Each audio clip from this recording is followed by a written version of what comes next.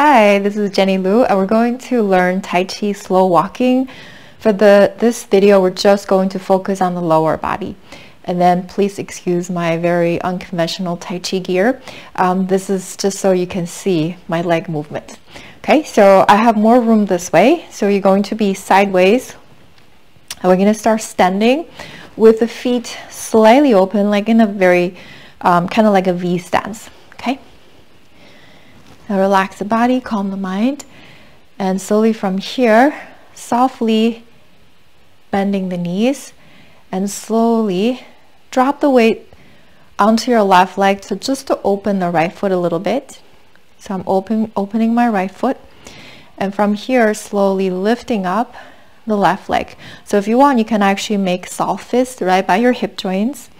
And then from here, take a step. So inhale, stretching your right leg and then gently step your left foot forward, touching the heel down and then shift your weight. So we're going into a bow and arrow stance.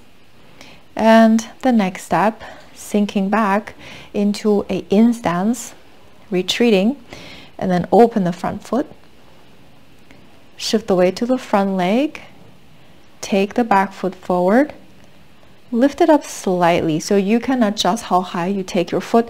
So when we lower this leg down, we're not just dropping like this. If you can, in order to train the other leg to make it more stable, you softly bend your knees a little bit. Of course, if you need help, have something stable next to you, practicing. And then go into a bow stance. Coming back, open the front foot, shift the weight, once you know what to do, you can look straight ahead, lower, front foot is always straight, going towards the direction we're going, shift the weight back, open the front foot, transfer the weight to the front leg so you can take the back foot and lower again. Okay, slowly from here, we're going to just turn around and do it one more time.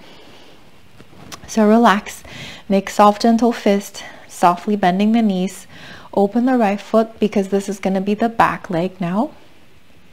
Taking the left leg up, lower the right knee, heel down with that front foot, and shift the weight forward. So notice when we're going forward, we're keeping the upper body perpendicular to the floor. There is no leaning forward or back, which is very important in Tai Chi.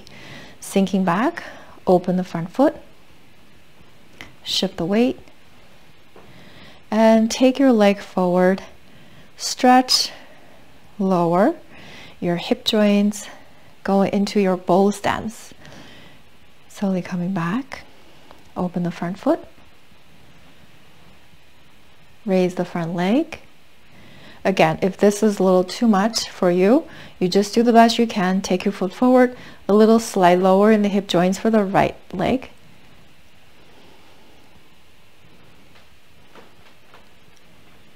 Slow, steady, moving from your center.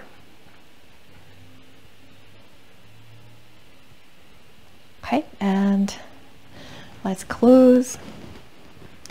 So if you have space or if it's comfortable outside, feel free to do slow walking outside. So the key is really to make sure you are staying centered and grounded.